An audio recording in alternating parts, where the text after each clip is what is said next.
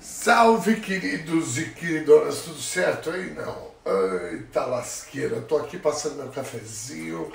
Hum, cafezinho com gostinho de democracia, de reforma agrária. Esse é o café da dona Cecília. É, bicho. Hum. Eita Brasil, hein? Nossa Senhora! Olha o cheirinho do café. Uh, lá, lá. Maravilha! Tudo certo aí com vocês? Não. Deixa eu só clarear um pouquinho aqui como é que tá isso. Bom, gente, esse tormento não vai acabar nunca, não é? Até quando nós vamos ter que aguentar essa gente que emergiu do esgoto? Sim, do esgoto. Acho que nem no submundo do esgoto é tão asqueroso como essa gente aí, cara. É, nem as ratazanas, as baratas, os bichos nojentos que vivem nos esgotos são tão repulsivos como essa gente. Ontem no Congresso Nacional, no Parlamento, hum, um espaço que deveria ser um espaço de disputas de ideias, de projetos, nós tivemos mais um show de horror. É, o ministro Paulo Pimenta foi convocado pela oposição. Oposição. Na verdade, por um bando de lunáticos, um bando de criminosos. Sim, porque essa gente, o que essa gente faz é crime. Pois bem, o ministro foi lá esculachou um por um. Eu, particularmente, fiquei satisfeito com a performance do Paulo Pimenta. Porque esse tipo de gente tem que ser tratada dessa forma mesmo.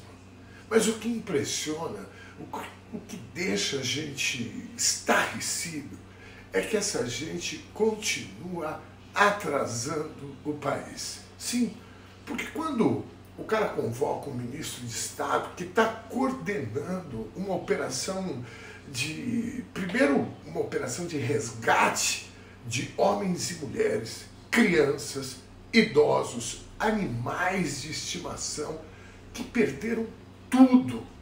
Depois de alojar essas pessoas, acolher, alimentar, preparar a reconstrução de milhares de vidas destruídas por essa tragédia. E aqui eu faço um parênteses, cara.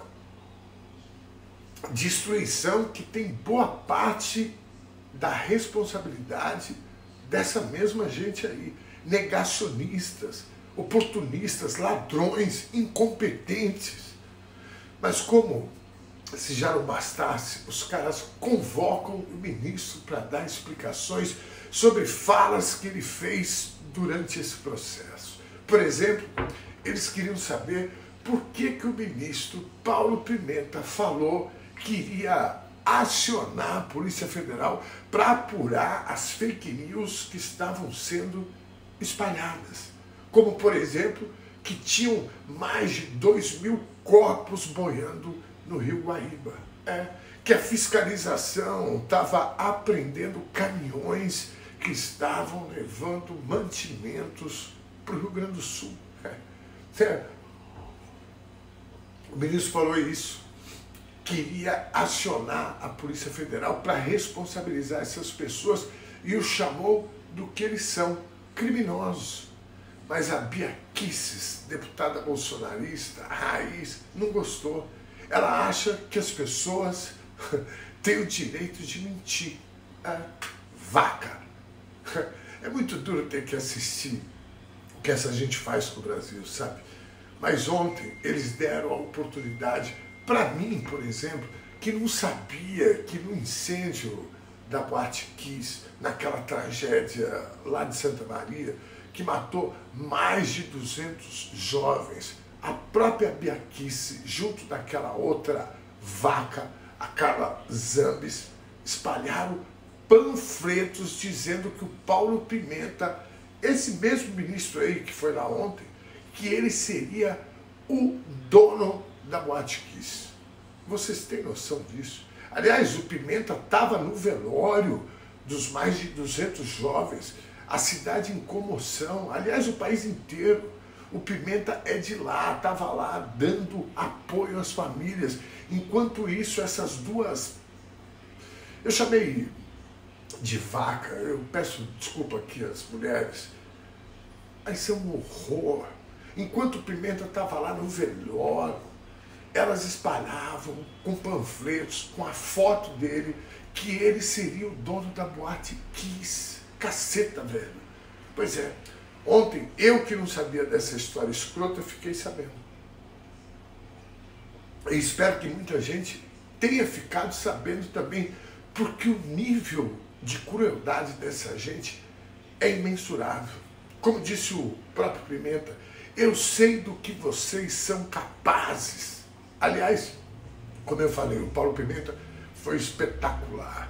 Tem um outro deputado, eu me recuso a falar o nome dele, um policial, que tem uma história extremamente mal contada sobre a morte da noiva dele, da ex-noiva. O cara matou a noiva, disse que ela atirou nele primeiro, por ciúmes, depois ele encheu a garota de bala. Uma história toda cheia de contradições. Os pais da moça até hoje não se conformam com a absolvição desse sujeito. É, mas enfim, ele ontem era um dos mais exaltados.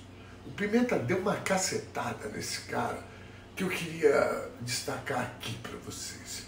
Num determinado momento, esse serzinho escroto disse que o Pimenta tinha que se explicar por ter levado a esposa dele no avião da FAB.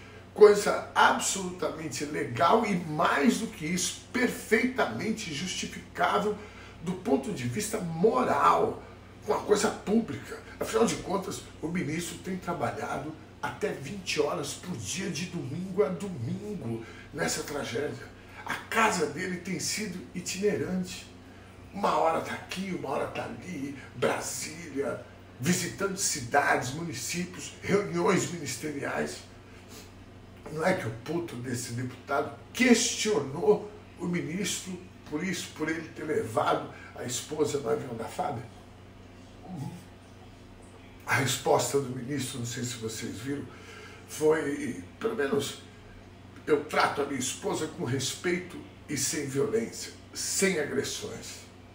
É assim que essa gente tem que ser tratada. Sabe por quê? Porque nenhum presta.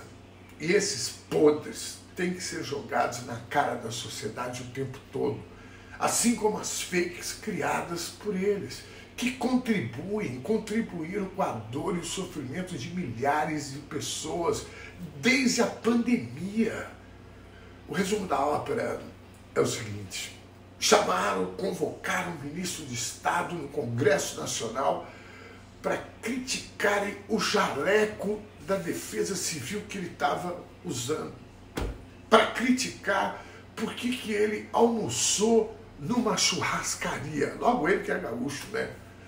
para defenderem o direito de mentirem. É de cair o cu da bunda, gente. E pior, nenhum debate sobre a reconstrução do Rio Grande do Sul, nenhum debate sobre o auxílio a essas pessoas, nenhum debate sobre a irresponsabilidade do prefeito Sebastião Melo ou do governador Eduardo Leite. Nada. Nenhuma contribuição para que esse tipo de tragédia não aconteça mais nada. Enquanto isso, o chefe maior dessa patifaria, o responsável por essa gente ter emergido do esgoto, se é que eles podem ser chamados de gente, ontem descobriram mais uma joia que ele roubou do Estado brasileiro. É, o FBI descobriu lá nos Estados Unidos. E pasmem, o cara ainda está solto por aí. Vai Brasil.